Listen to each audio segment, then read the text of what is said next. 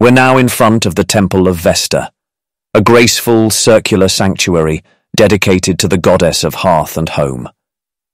This enchanting temple, with its graceful columns and eternal flame, is tended by the Vestal Virgins, priestesses entrusted with the wills of the emperors and with keeping the sacred flame alight in order to spare the city from ruin.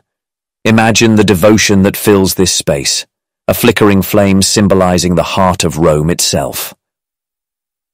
The Temple of Vesta represents the city's domestic virtues and its timeless connection to the divine.